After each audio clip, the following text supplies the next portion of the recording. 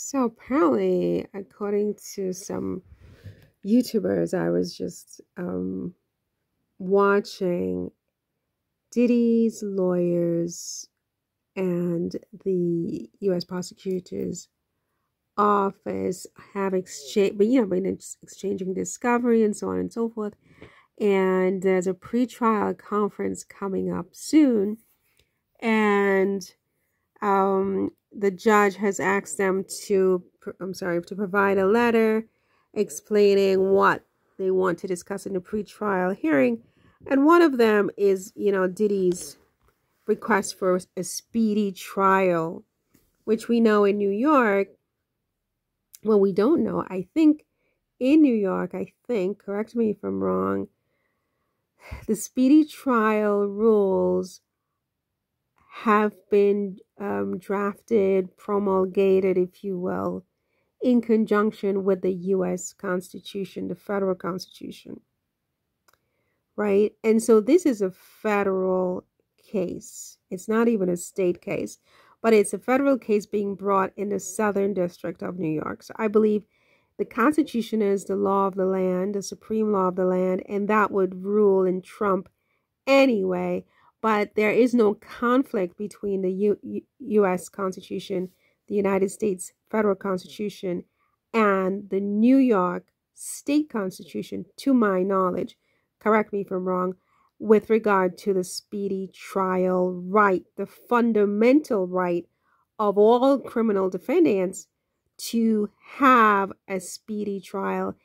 It is um, it is guaranteed, I believe, in the Sixth Amendment of the Federal Constitution of the United States. The Sixth Amendment it guarantees every defendant, every criminal defendant, certainly, the right to a fair and impartial jury, which is something that I'm very concerned about in this particular case, because the public has been inflamed and the defendant severely prejudiced by the release of those videotapes of him beating his girlfriend, considering this is not a state assault case, it is a federal racketeering case, but those video or that videotape showing him assaulting his girlfriend, which is a state crime. Oops, oops, oops, oops, oops. Sorry, you guys.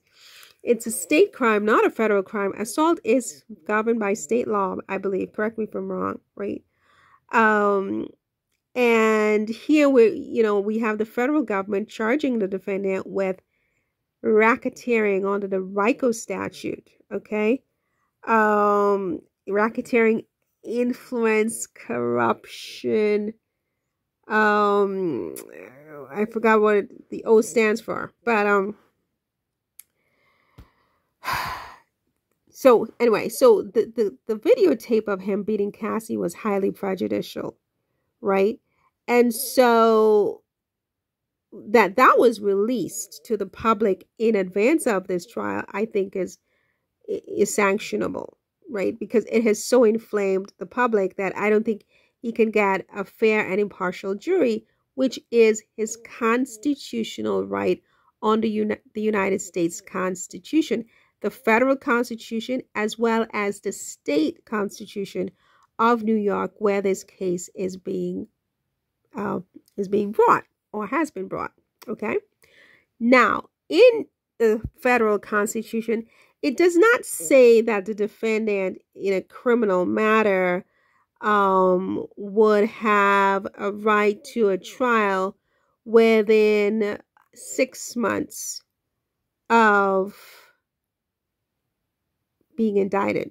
It just says, and correct me if I'm wrong, I believe what it says is that the defendant is entitled to a trial within a reasonable period of time after being indicted in a criminal matter, right?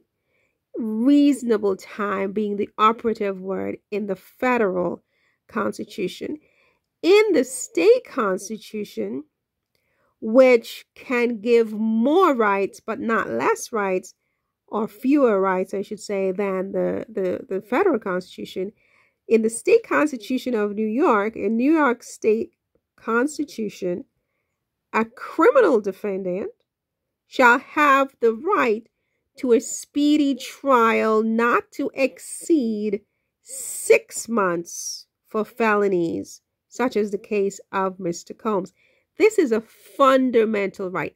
Why is this a fundamental right? Because you can't just keep people locked up in jail or prison or wherever you, you have them indefinitely. And without these speedy trial laws, many people would be prejudiced in the United States. Those who don't have money, those who are members of certain minority groups, you know, those who, you know, look, you know, take your pick of, of who would be prejudiced without these constitutional guardrails, such as the speedy trial rules. And so the idea that Diddy should hurry up and wait in prison for a year while the government sorts out all of the documents that they claim they need to sort out, whether it is his electronic documents or um, you know, any other documents that were seized in the raids of his home back in March, where in October, March, April, May, June, July, August, September, October. So seven months. The government has had seven months to go through these documents, right? And get their their docs in order in order to be ready for to set a trial date within the confines of the speedy trial rules, which would mean he was indicted in September, October, November, December, January, February, March. He has a constitutional right pursuant to both the federal and state constitution of the United States and the state of New York to have his trial date set anywhere between March and April. And it is his constitutional right to demand that the government be ready. And if the government is not ready, this would be basis to dismiss the case against Mr. Combs. Do correct me if I'm wrong, because again, I did not pay attention in law school. Okay. I just didn't. um, so I, especially in criminal law, I was just like, you must be kidding me with this, right? I had no interest, but you know, we're going back like two decades on this. So, but I believe those are the rules, ma'am. Okay. So this idea of, you know, people on, on social media and, and there's one in particular that, that I, I, I'm referring to who's like, oh, Diddy should just hurry up and wait because, you know, the government, he, he does not have to give the government time to to finish to to get ready for for a trial you know, a year from now while he sits and rots in jail and they deny him bail. He's an American. He is an American. He's governed by the American federal constitution. And this state is being brought in New York. This, this case is being brought in New York. I believe he is a, a, a citizen of the state of New York or, or a resident, right? This, this case is being brought in the Southern District of New York. New York also guarantees that he has a right to have a trial within six months of being indicted for a felony. Right? So don't ask this man to hurry up and wait in prison to give, you know, the, the government time to sort through the documents. The government has already had seven months. And they have also denied this man bail. And in our system, you are innocent until proven guilty. And for felonies, you need to be proven guilty by the standard that is beyond a reasonable doubt. Right? This is the law in the United States at this time. Do correct me if I'm wrong. So I take huge umbrage at anybody demanding that this man hurry up and wait in prison. I don't have to like him. I don't have to want to have his baby. I don't have to respect anything having to do with his lifestyle but he is an American and he's subject to the United States Constitution and his rights under the Constitution, both state and federal Constitution, should be respected. That's all for this one. See you in the next one. Take care. Bye.